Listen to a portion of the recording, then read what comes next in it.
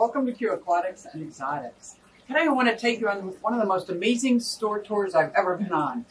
I can't wait to share this with you. And if you wait to the end, I'm going to show you the two fish that I got there. So excited. So come along with me and let's check out this store tour. Hey everybody, it's SuzyQue and I'm here to show you just what I do. I have a passion for fish and exotics too, so come along with me, it's SuzyQue. Hey. So I stopped at this store. I stopped at this store on the way home from the big fish deal and it's in Maryland. Let's go check out this store tour. You know, I think it's an amazing store when I walk in and there is a koi pond.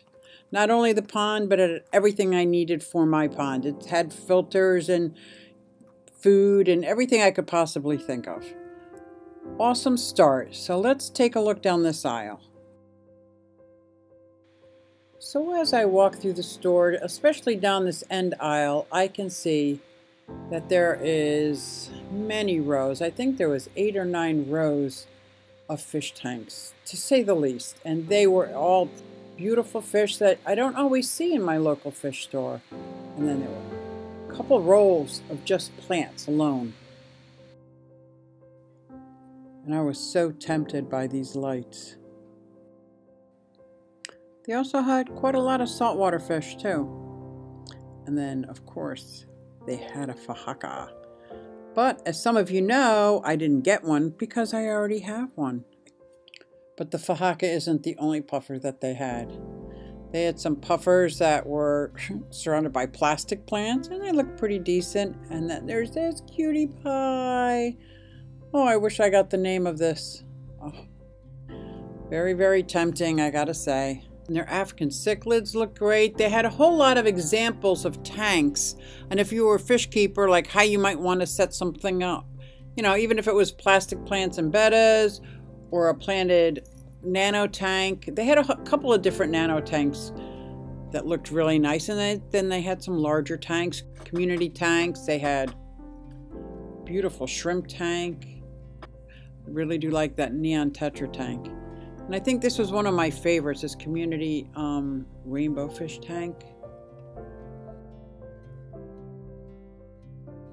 And of course, check this out. Mud Skipper, do you know what I got?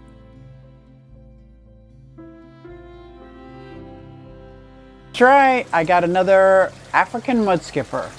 So let me tell you a little bit about these African mud skippers. Well, that's a molly. And that's a puffer. And that's a guppy. But that is my new West African mud skipper. And they're in the goby family, so if they're looking like a goby to you, that's probably why. And I think these are amazing creatures. They live in brackish water. This whole tank is brackish water, which is kind of like a mix between fresh water and salt water. I keep these guys somewhere about 1.010. Try to, you know, keep it around that, give or take. Um, and if you're if you didn't know, when I need to add water because of evaporation, I can add my fresh water. But if I'm doing water change, I need to add the brackish water because the salt does not evaporate. Look at this cutie pie looking at me. Very intelligent creatures. They get up to 10 feet long. So this 45 gallon tank was perfect for one African mud skipper. But now that I have two, I'm going to need a larger tank. The water in here is around 77 degrees. Sometimes it gets about 81, 82. But as you can tell, I have a tight lid because it's critical that I keep the humidity level up outside of the water as well. And let me tell you why. These guys, so these little guys are amphibious fish. So they swim around, they look like gobies when they're swimming, and then they spend a lot of times up on these land. You see I've got rocks and sand here. I've got branches, another huge, what I call sandbox here, some floating islands, along with lots of hiding spaces down here as well. Am I really loving my setup? No. My next setup is going to look a lot more natural. This is my first attempt at building paludarium, building land on top of the water. So it worked very well. I just want it a little more aesthetically pleasing for me. But I think Skipper, which is my male, I don't know if you could see him over in that corner. He's been in here for the last, I don't know, six, eight months. I call him Skipper. If you want to see the story behind him, go ahead and click this link. I thought it was a very interesting story how I came to have one African mud skipper when I intended to buy all three. Let's get back to my new guy, which I believe it's a female. I'm hoping it's a female, other, otherwise I'm going to need a much larger tank or two separate tanks. But this is um, Marianne. Get it?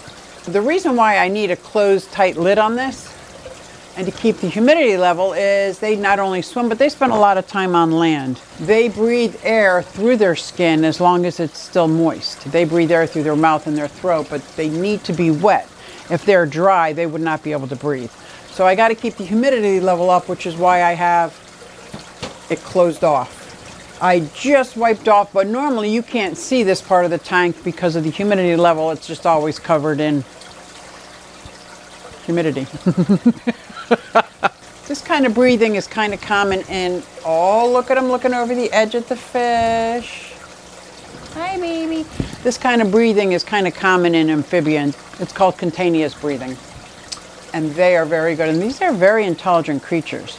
Did I say they can get up to 10 inches long? Their dorsal fin is almost like a flag. It's spectacular. See this? This, this their dorsal fin. That's going to either show territory, mating behavior, some kind of flag to let the other mud skippers know that they're there and, that, and they're trying to communicate. Either get out of my space or come into my space. I guess they can read what the flag means and when it means it. Oh, look at this little guy. If you could see, she's leaning over the, the rim of their little land area watching these puffers.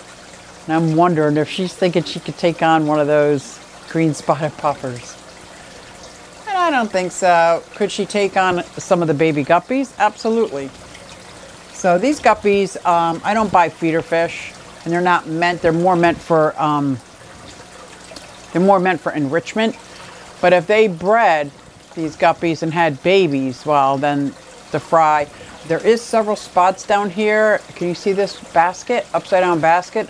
I like this because fry can go in there and they're safe from any of the larger fish. See how adorable their eyes are? They're set up on their head so they can see 360 all around, like a little periscope. They like to eat um, bloodworms, frozen food, clams on a half shell. Since I put clams on a half shell in here anyway for the puffers, um, frozen shrimp. They're saying crabs, but I, I'm not going to get live crabs so that they can eat them. And you see how low this water is? If you can see him in the back there, Him climbing up the wall? If it wasn't glass and if it wasn't this high, they'd be able to climb up. Another reason why you want to keep it covered. You want to keep it covered. But I keep it pretty low and it's so humid in here they just can't climb up past this. Now, if it wasn't glass and I had another enclosure in here for the top half, I'm sure they'd be able to climb out. They have a, a lifespan of about six years. I'm not sure how old they are. I want to say more than likely all mud skippers are wild caught. So the fact that he's much bigger than she is, it could be an age thing, it could be a gender thing, I'm just not sure. So I really like the way Tazawa Tanks set up his aquariums for his mud skippers. And I'm going to put a link up here if you want to see how he did it. It's always good to check out and research all different people on how they do it, why they do it that way, and then you can form your own opinion. But if you just watch one or two people on YouTube, you're only going to get. I, I'm only doing this what works for me because these are the things that I had lying around the house. I had an old this, I had an old that, I use this. Whereas if you go to an African Mudskipper website or blog, you'll get different info. You might get more information, different information. That's why I want you to check out Tazawa Tanks videos. That's very good. And when you research some mud skippers, you'll see there's so much. There's a difference between the African mud skipper and the Indian mud skipper. I have the West African mud skippers. Tazawa has both. So very good videos too. Those are my those are the mud skippers. Do you want to see what the other fish that I got while I was at this amazing store? Well, you're going to have to stay tuned for my next video when I'm going to go over my Emerald Eye Rasboras. These guys are adorable and I cannot wait to show you. So thanks for coming along and checking out my store tour and my African mud skipper. But thanks guys and I'll see you next time. Hey, everybody, it's SuzyQue. Hey, everybody, it's Susie Q. Na na, hey, everybody, it's SuzyQue. So come along with me. Said I'm Susie cute.